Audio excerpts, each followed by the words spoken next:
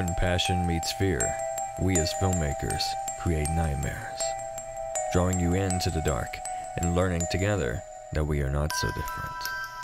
The Highlands Horrorfest brings filmmakers and horror fans alike together to celebrate those fears and embrace the unexplainable.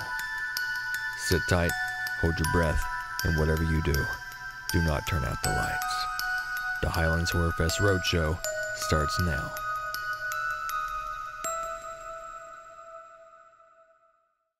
Hi there, I'm Justin Simerly, and we're back for another installment of the Highlands Horrorfest Roadshow. We're here at the Atlantic Ale House, and tonight we'll be listening to Allen C. Lopez talk about directing talent in independent films. As you can see, we have quite the crowd here tonight, so it should be fun. Maybe we'll all learn something from Allen, have a few drinks, have a lot of fun. Let's get started.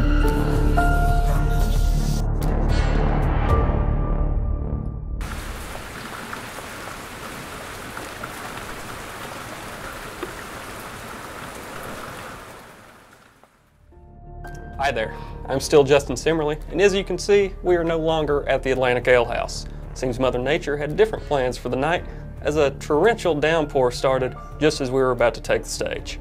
So here we are, moved over to campus to the TV studio where alcohol is strictly prohibited. But still, we're here. I'm going to listen to Allen C. Lopez talk about directing actors in independent film. I'm going to drink this nice ice cold water from the refrigerator, and uh, hopefully we can all learn something here tonight. All right. Hi, guys. Uh, a lot of you know me. Some of you may not, but my name is Allen Lopez.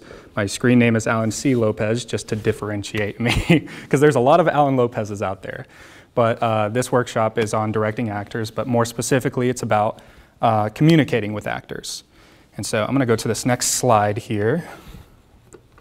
Actually, before I even talk about this, the reason why Chucky's here is because I'm very nervous, right? And so I'm thinking, you know, if I get nervous, if I get intimidated by your beautiful faces, I'm just doing this to Chucky. He's fine. So, um, so what is a film director? Wikipedia says, and bear with me, uh, I was always that kid in class that like got really nervous while reading out loud. So, um, a film director is a person who controls a film's artistic and dramatic aspects and visualizes the screenplay while guiding the film crew and actors, and you can see I highlighted actors here, um, in the fulfillment of that vision. Now, that's an okay definition, but I think it's a little wordy, so I gave my own definition here. Uh, a film director is someone who unifies all aspects of film production, especially actors.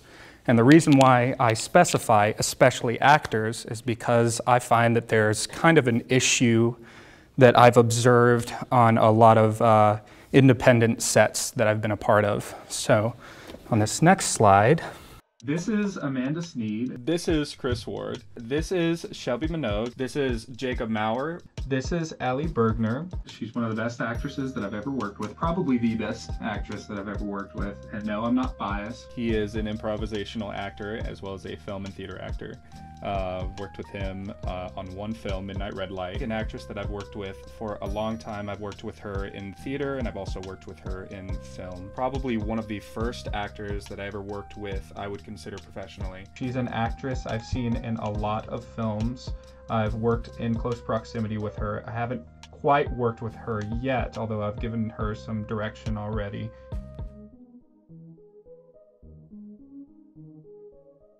What helps me most is probably just like simple communication, which kind of sounds like dumb in a sense, because like, duh. Everyone's different, but for me specifically, uh, like communication, a conversation. Honestly, a clear goal on what my character is supposed to accomplish in this scene and probably the overall plot. I really do enjoy like communicating with the director. Um, as long as we have like really heavy conversations about character work, character arc, um, that kind of stuff, I feel like I can really get into my character better that way.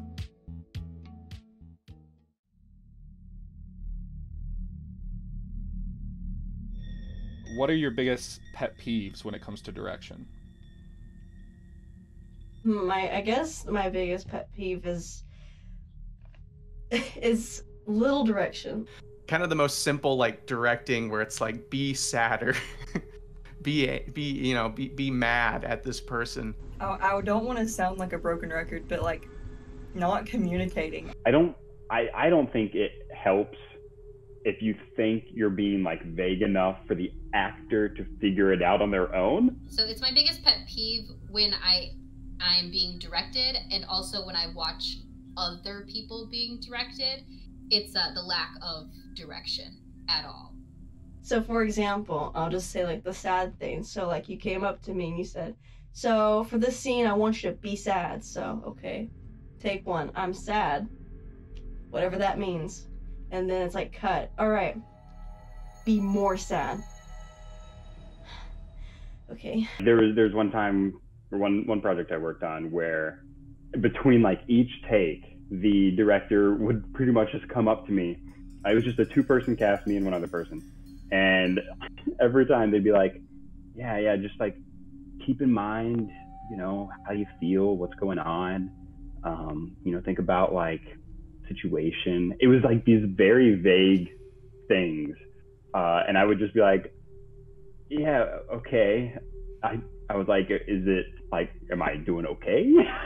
they kind of sit by and they're like, oh, well, what do you feel? And I'm like, this. And they're like, okay, well, you know, just keep at it. And I'm like, what? What are you looking for? When somebody expresses to me, okay, go into this scene, you feel blank.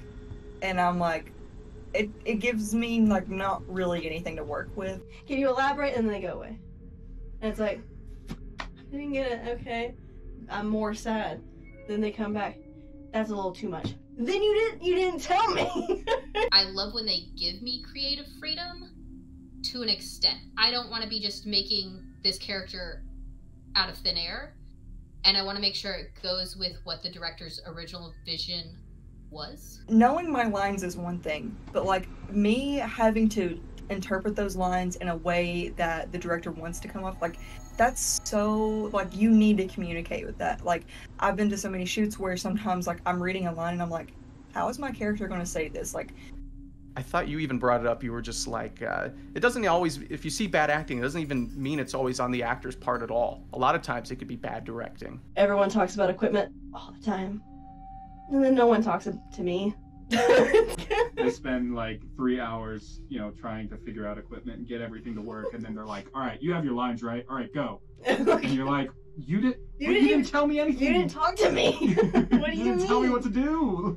Learn the lines, and the character will come. I heard that several times. I'm like, "That's that's not that's true. not true." I... like it's like I get it. Like it's fucking scary to like walk up to Yeah. an actor and be like let's have a conversation about this or and but the thing is like actors are probably just as scared they're like spiders or whatever it's like it's like they're just as scared of Yeah. you like I, yeah, right as you said that, I was like, it's the same. They're like, Yep. it's like two people that have a crush on each other, but they're both too shy to say it. Do it. Yeah, that's hilarious. That's yeah, it goes it goes both ways. Just admit admit your love for the other. Yeah. And just you know, kiss hold each other's hand. Just Yes. kiss. Just kiss, and everything will go so smooth. That's what we did. yeah for Midnight Red Light, exactly so, dude we yeah. um, we full out made out like Yeah, on that, that table work. Yeah.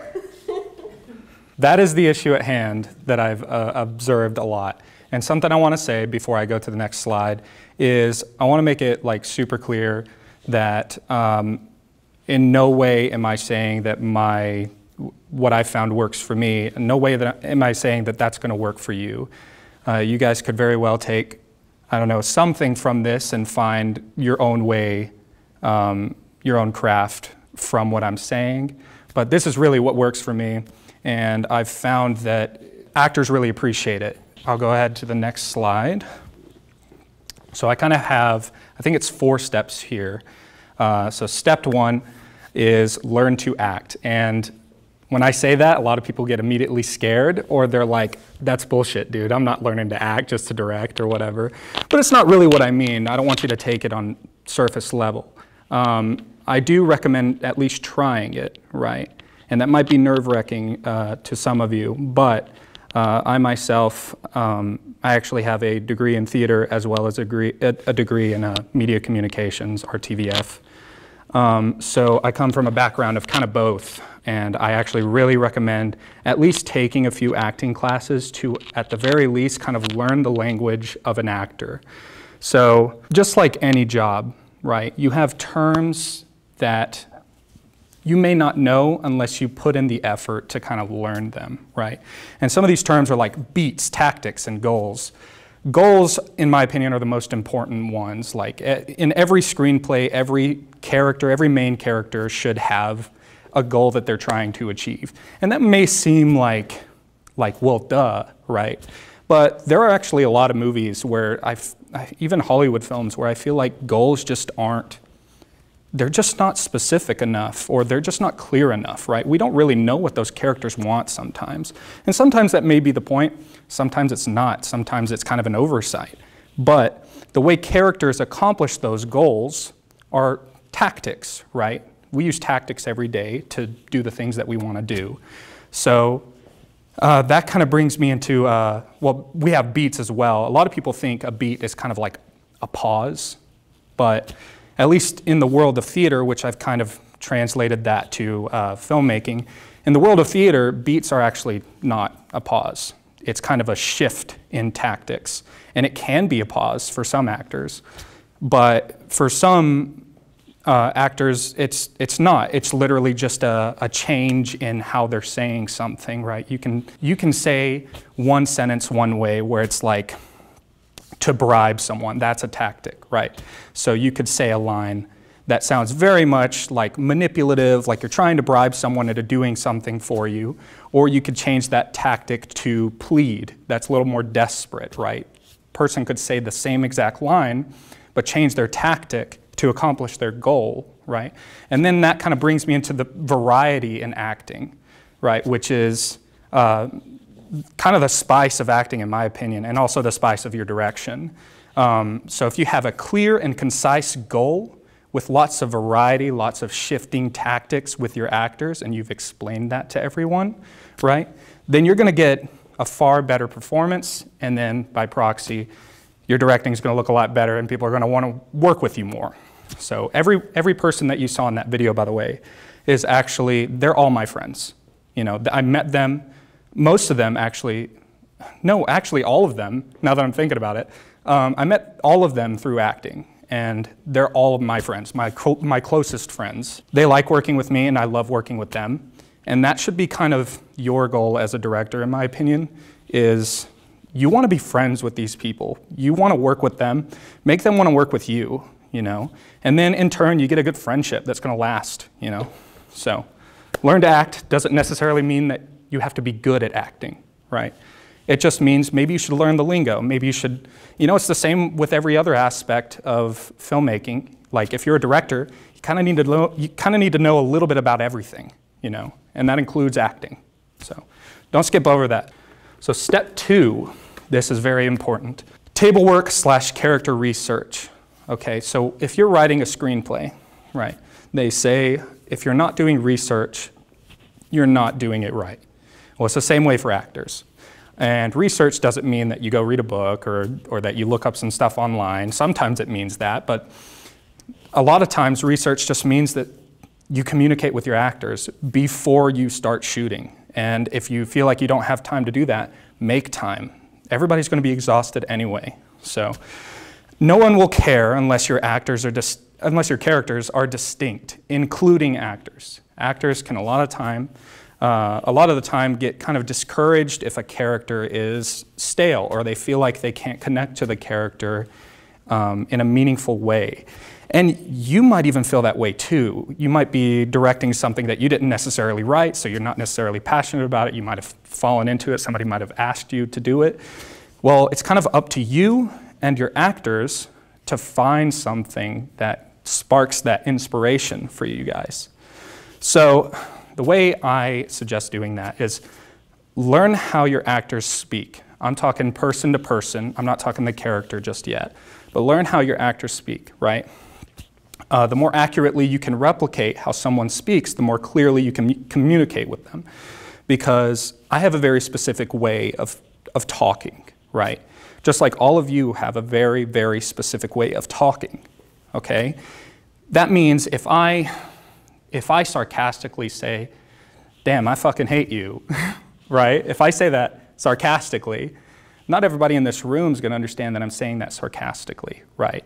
I mean, they might walk out of here and go, "Man, that guy was a dick. Why did he hate us so much?" like, but that's not what I'm saying at all. Just, but let's say I was an actor and you guys were my directors. If you guys know me and you know how I talk, then you understand, like, oh, he's being sarcastic. Sarcasm may be the best way to get through to me, right?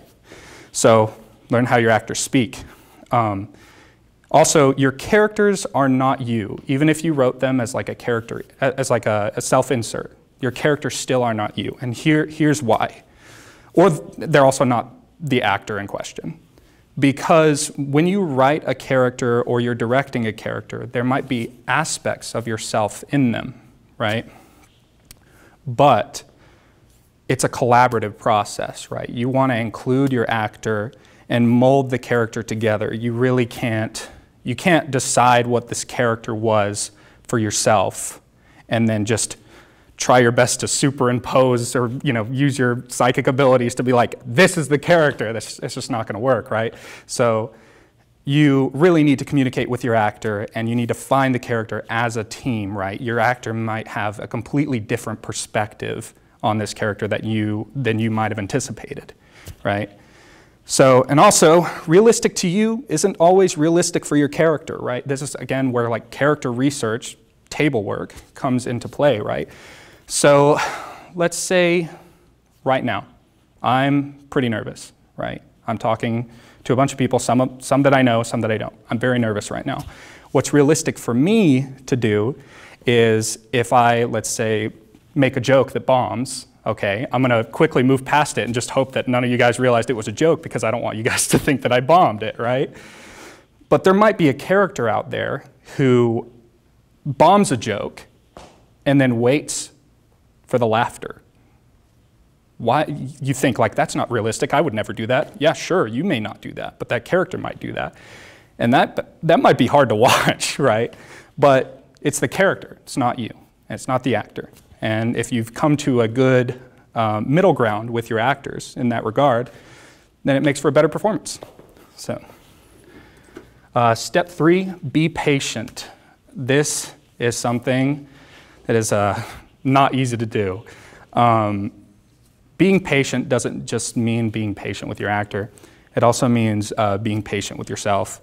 Um, something that I do a lot of the time, if, if an actor has a question, and I don't have an answer, I will literally tell them, hang on, I'm choosing words. And I will literally, like, I'll shut down, I'll go to a corner, something, and I'll start thinking, you know. Part of your job as a director is, is to problem solve. And this is also problem solving, right? So you'll say, hang on, I'm choosing words. Go off, do your own thing, right? Figure it out. You let your actor know, like, I don't have an answer right now. I will get to you here in a second. Or if it gets to the point where like you genuinely can't come up with an answer, pull your actor aside. You know, make time to talk to them, right? I know time crunch is a big thing for a lot of you, and that sucks. I hate it. But really, if you can, if you can find the time to uh, do test shots on the spot, right? If you can find the time to, you know, let's try it this way uh, with the camera here or the camera there. If you have time to do that, then you have time to do this as well, because it's just as important, right? You want to make sure your actors are comfortable playing those characters, right? And you want to make sure that they feel like they're being spoken to the same way that you're maybe speaking to all of the equipment people, all of your crew. So be patient with them and be patient with yourself. Again, filmmaking is problem solving. I can't remember where I heard that from, but that when I heard that for the first time, I was like, that makes the most sense because I've never, ever been on a set where there wasn't a problem that needed to be solved. So be patient. So, step four, I think this is the last one, right? Spend just as much time talking with your actors as you do talking about and prepping equipment because I've noticed a lot of the time, a lot, you know, equipment's cool. Like, I love equipment too, right? You know, now, like, if I had access to this equipment, like, I'd be freaking out about it too. Like, you know, I'd want to use, like, everything that I could, right? But those are things that you need to establish before you even start shooting, if, if you can, right? I know there's stuff like 77 hour film competitions, 52 hour film competitions where like, you know, it's not, you, you can't really like figure it out before because like you don't know what you're gonna do until you get the, the genre or whatever you guys end up writing and shooting. But if you can, do all of your experimenting with any sort of equipment beforehand, before actors are called, um, and do the same thing with actors before they're, before they're called, days before, weeks before. The, the longer notice, the better. Like, sit down with them and do the same thing that you do with equipment, test things out, talk to them, right?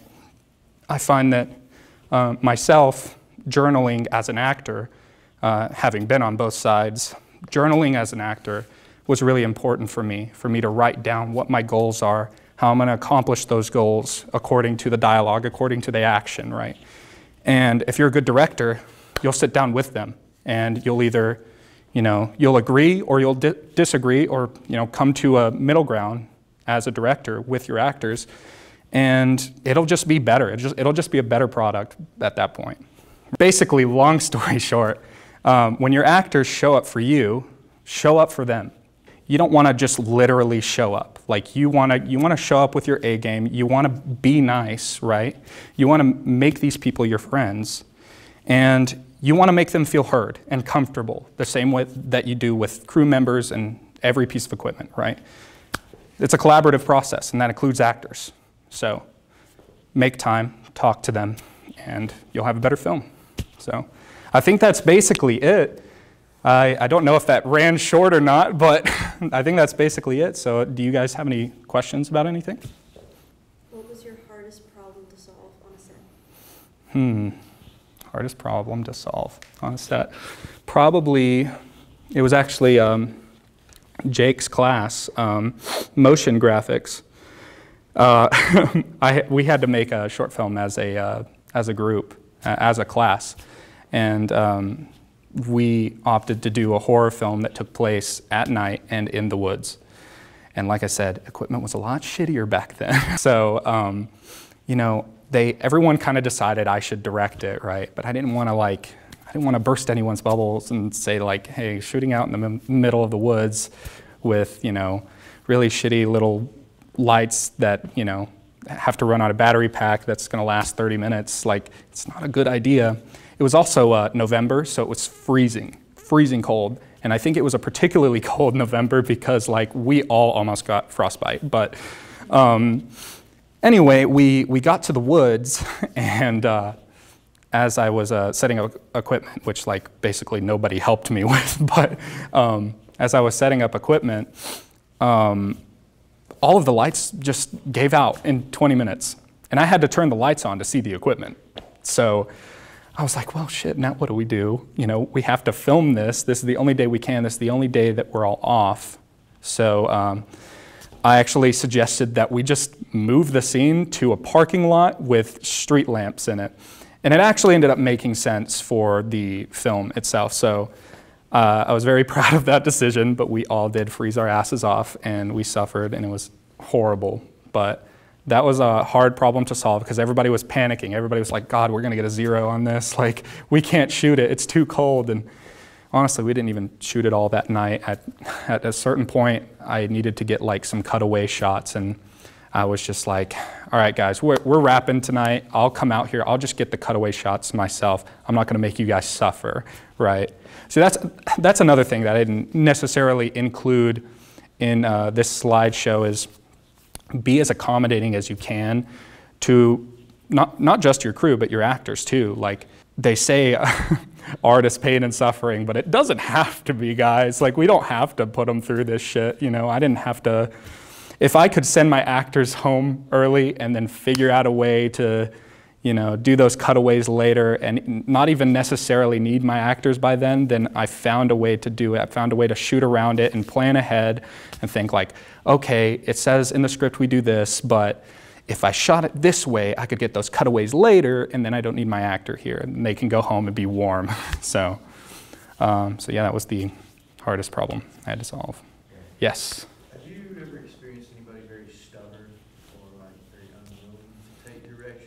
Mm-hmm. Yeah. And how do you, I guess, is there a way you deal with that? I mean, Yeah, I mean, that's that's something that does come up. You know, I, I have I won't name any names because I you know, I still work with this person sometimes.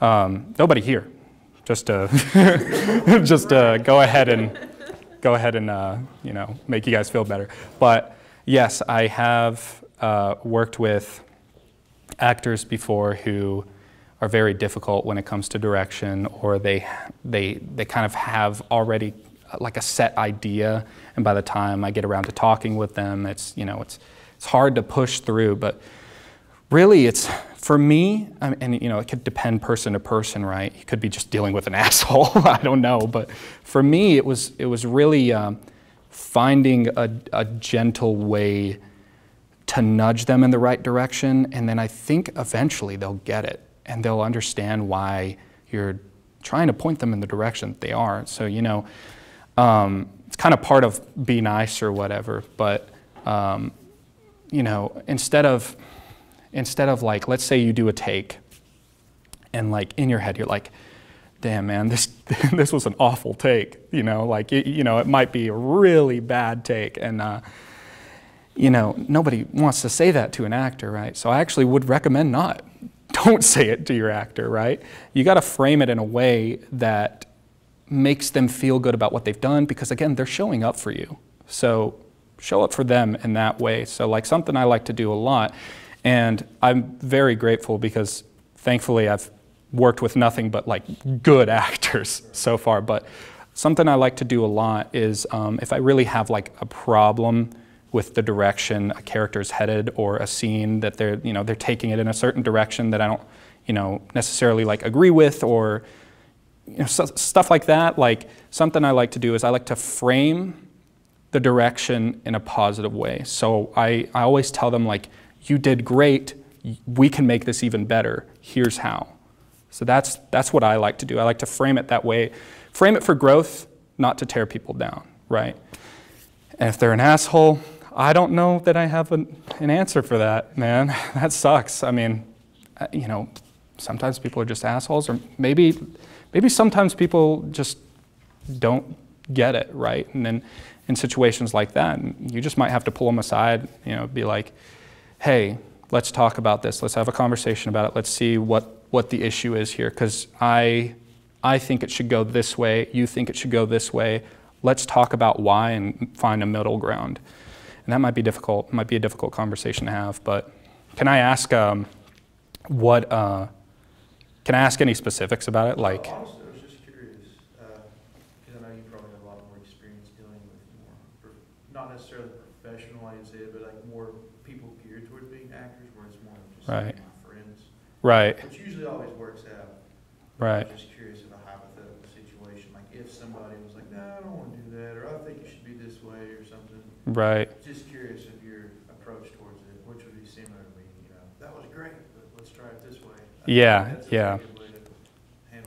Yeah, I agree. And I, I mean, judging by that, the one movie that I've seen of yours, dude, you got some good friends. Right. Just saying, dude. We lucked out just yeah. Guess, you know. So good. So good. Such a good movie. Any other questions? Yes, Luke. Uh, so, does anything change in regards to character research and like table work and stuff when you're working with a script that you didn't write, as opposed to like when you wrote it, if like if you write something, you're creating the motivations and the drama and like whatever each character's goal is as you're writing it. Mhm. Whereas when you're handed a script, you have to find those things. Is there any difference in like doing the table work in those situations? Yeah, yeah. I think the biggest difference there is that, uh, and I kind of touched on it a little bit earlier, but you you're going to have to find something in that script to tie yourself to, right? I had um, I had a friend who told me once that um, they they're also a filmmaker and they had a buddy who wrote a screenplay and that buddy was very Christian and they were not Christian and so they their buddy was begging them to direct this film, right? And uh, he did. He did. He took it. He took the film and he directed it. And he said he wasn't passionate about it at first, and he couldn't really understand the character motivations because he wasn't Christian, right? and he said he found an aspect to it, something he related to, and found a way to kind of make it his own vision, right? And uh, then communicated that with his actors, right? That's just that's just one example. But the, I guess the way I would approach it is, I actually had a situation like that. Um, it was actually the, uh, the the story I was talking about earlier with shooting in the middle of the woods. Um, everybody kind of wanted to make a, um, a kind of straightforward horror film. Uh, it's going to sound ridiculous, and you're probably going to have the same thought I did, but they wanted to make kind of a straightforward horror film about a cat person, right? And to me, I'm just like, man, that's goosebumps. Like, that is that is goofy as hell. So, you know, you may read a screenplay, and the only way that you can find an attachment to it, and you know, writers may not like it sometimes, um, but you know, if you can talk to your writer and discuss this with them, then you should. But um, you may have to find a different angle from what the writer was intending to find that inspiration, or you might you might just have to dig deep down into that screenplay, right?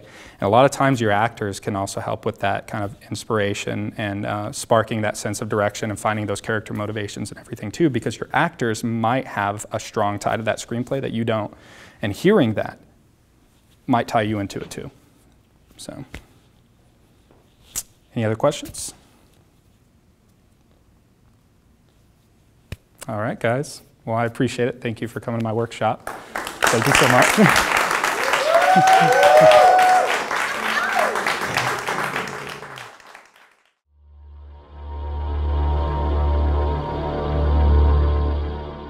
Hey, it's Justin Simerly back again here after his little panel here with Allen C. Lopez. Allen, how do you feel about your panel and how do you feel about the turnout? Um, I think the turnout was pretty good. There were some people there that I did know and didn't know. Uh, I think it went all right considering I was a nervous wreck. So, pretty good. Good. Well, hey, you, for what it's worth, you didn't seem nervous one bit. But I do have to ask, who's your little friend here? And uh, more importantly, why is he here sitting on your lap? Uh, so my friend here is Chucky. Um, this is a horror fest after all. So uh, my first uh, horror film ever was Bride of Chucky. I've always uh, had a love for the franchise ever since. And more importantly, I am manifesting right now because I want to fucking direct an episode of that goddamn show. Looking at it, you're clearly an accomplished director. You know how to direct actors. Do you have anything in the works that we can look forward to from you? Uh, sure. Actually, uh, this November we are shooting a movie called Lily that I've uh, had written since I think um, June or July.